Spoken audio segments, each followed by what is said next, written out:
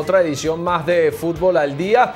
Hoy ya día martes 30, ¿no? Estamos por el día 30 del mes de marzo, se nos va en esta Semana Santa. Nosotros seguimos comprometidos acá con eh, todo lo que es la, cobertura del fútbol nacional y eh, en este caso mm, lo que es el repaso de la fecha número 10 y lo que será también el partido que estará enfrentando el día de mañana el Deportivo Italia contra el Monagas. Recuerden que mañana se estará jugando esa fecha, ese partido de la fecha número 10, así como también a partir de las 10 y 30 de la noche Venezuela estará eh, cumpliendo su partido amistoso contra la selección de Chile en, Temuco. Será ese encuentro eh, donde ambas selecciones estarán enfrentando. Nosotros tenemos que comenzar a analizar lo que será ese partido del día de mañana, todo lo que es la actualidad del Deportivo Italia y el Monagas Sport Club. Eh, señor Tomás Muñoz, el Deportivo Italia que había aplazado su partido del fin de semana motivado a su presentación en Copa Libertadores, ese viaje que tuvo que hacer a um, Belo Horizonte,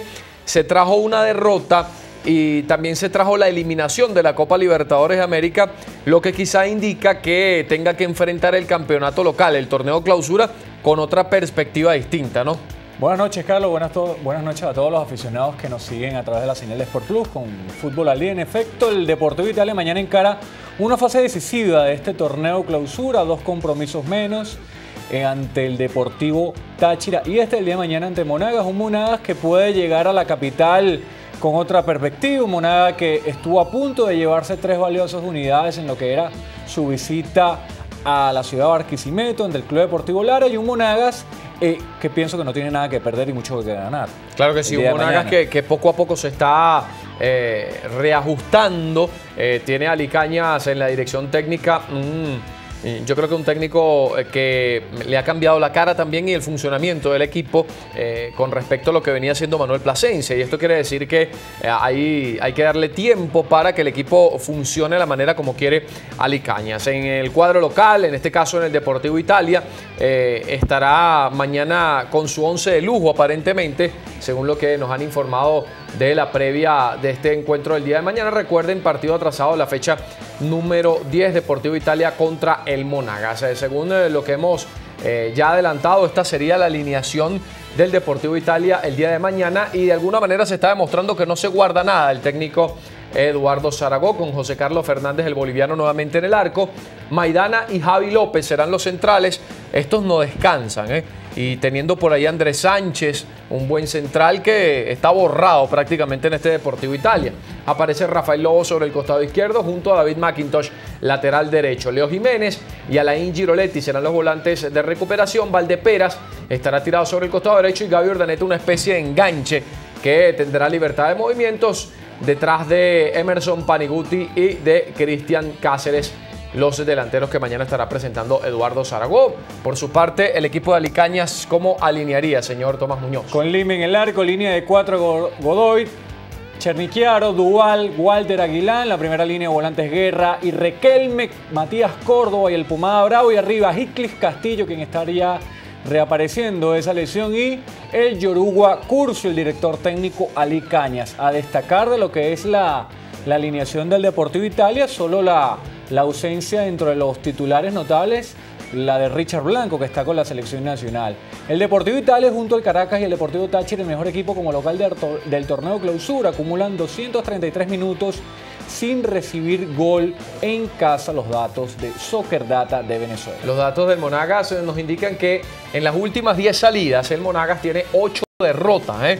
Ahí está un dato interesante, una victoria y un empate en eh, esos últimos 10 juegos y ha encajado en esos 10 partidos 26 goles en contra. Así que, eh, ¿sabe lo que es una media de 2.6 goles por partido? Eh, Tomás y amigos de, Fútbol al Día denotan que el Monagas encaja muchos goles cada vez que tiene que ir a la carretera y esto sería un buen indicador en todo caso para el Deportivo Italia el día de mañana. Nosotros tenemos protagonistas del cuadro itálico porque esta mañana nuestro compañero Frederick Oldenburg estuvo en el Estadio Olímpico con el entrenamiento de los dirigidos por Eduardo Zarago. Vamos con él.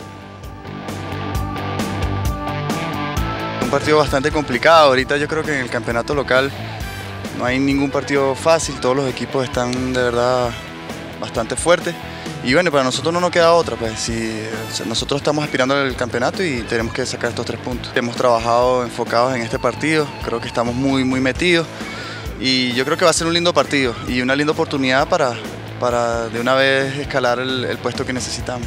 Es importante sacar el resultado para seguir peleando y bueno, con mucho cuidado porque sabemos lo, que es Monaga y, lo que puede hacer Monaga. Nosotros tenemos que ser muy inteligentes porque ellos van a tratar de, replegarse bien atrás y contragolpear y no, nosotros tenemos que ser inteligentes, tratar de llegar por las bandas y, buscar el momento oportuno para hacerle el gol. Son tres puntos que, nos van a poner allá arriba. Sabemos que Monaga siempre, siempre ha sido un equipo aguerrido, que corre, que mete. Y bueno, nada, nosotros con la tranquilidad, con la paciencia, con la responsabilidad que, siempre hemos tenido y, bueno, con el funcionamiento que, que el profe nos pide y bueno, nada, con la, con la mente siempre en la victoria, en los tres puntos para que nos mantengan allá arriba y seguir peleando por, el campeonato. Seguro, nosotros no cambiamos mucho. Eh, siempre salimos a, buscar el partido, a ser protagonistas, a salir a presionarlo del primer minuto, así que esa va a ser la, consigna, salir a presionarlo, no dejarlo jugar y una vez que recuperamos la, la pelota tratar de hacer nuestro juego, nuestro funcionamiento y poder concretar la jugada de gol que tengamos, que eso va a ser lo más importante prácticamente toda la línea defensiva del equipo del Deportivo Italia en eh, esos comentarios para eh, Fútbol al Día. Recordar que también se está jugando un partido de Copa Libertadores y usted me preguntaba a mí, ¿pudiera haber sido eh, Táchira Lanús ese encuentro que se estaría jugando hoy en San Cristóbal? Sin embargo, es Libertad Lanús y Libertad está ganando 1 a 0 con tanto de Adalberto Román. Continuamos entonces analizando. Será un partido interesante el del día de mañana. Un Deportivo Italia que sí o sí tiene que ganar para poder seguir la estela del Zamora y estaría ya empatándolo a puntos en caso de ganar el día de mañana. Sí, un partido vital para el Deportivo Italia, vital por estas fechas en las que no pudo jugar debido a su participación coopera. El día de mañana tiene esa misión, los dirigidos por Eduardo Zaragoza, como ya decían, parte de lo que va a ser la línea defensiva, de salir a presionar al Monagas. Un Monagas que pareciera que se parte cuando juega en condición de visitante. Es un equipo totalmente distinto el que juega en el Monumental de Maturín a este que ha eh, tenido Alicañas en este torneo clausura. Hay que decir que ha bajado un poco esa, esa, milla de goles recibidos claro que sí. del cuadro del Monagas. Nosotros tenemos que, eh, antes de hacer la primera pausa, hablar de simplemente fútbol, la edición número 258 que ya está en la calle. Y si usted no ha viajado y mañana pretende salir de la ciudad, pase primero por un kiosco. Mm, este, esto es a nivel nacional. Usted adquiere su simplemente fútbol y si va a la playa, la montaña, esto es una muy buena lectura para eh, pasar estos días eh, de fiesta en el interior del país o aquí en Caracas si usted viene del interior. Simplemente fútbol, el semanario del Deporte Rey. Recuerden que nosotros estamos en Twitter, también estamos en Facebook y en YouTube. Fútbol al día es nuestro correo electrónico para comunicarse con nosotros. Pausa y al regreso estaremos eh, con eh, la continuación del análisis de ese partido del día de mañana entre Deportivo Italia y Monagas aquí en Fútbol al Día. Ya venimos.